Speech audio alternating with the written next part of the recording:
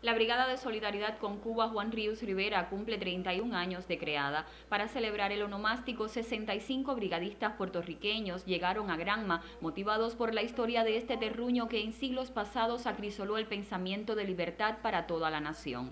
La necesidad de contacto con esas páginas gloriosas los llevaron, entre otros sitios históricos, al otrora ingenio La de Majagua, donde Céspedes inició el proceso revolucionario de la isla en 1868. La comandancia de La Plata como centro estratega de la guerra de guerrillas en la sierra y la escalinata que en Manzanillo rinde honor a Celia Sánchez Manduley también fueron lugares de visita para estos portadores de amor y hermandad.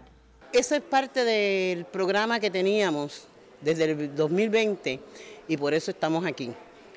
Una visita bien importante para nosotros era que en el 2020 le dedicábamos la brigada a Celia Sánchez Manduley y esa brigada no pudo llegar por la pandemia y este año pues logramos llegar en esta brigada y rendirle tributo a Celia Sánchez Manduley, que desde el 2020 estábamos honrando su memoria en su centenario.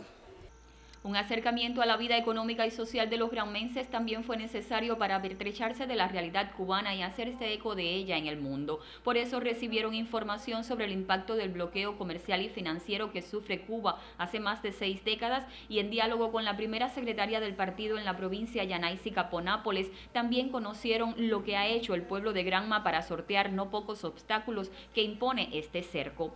La líder partidista agradeció a la brigada su lucha por la causa cubana y su acompañamiento en los momentos complejos que vive la nación.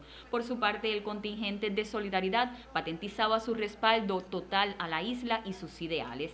Al cierre, visitaban el obelisco de Dos Ríos, donde falleció en combate el héroe nacional de Cuba, José Martí. Catiusca León, en directo.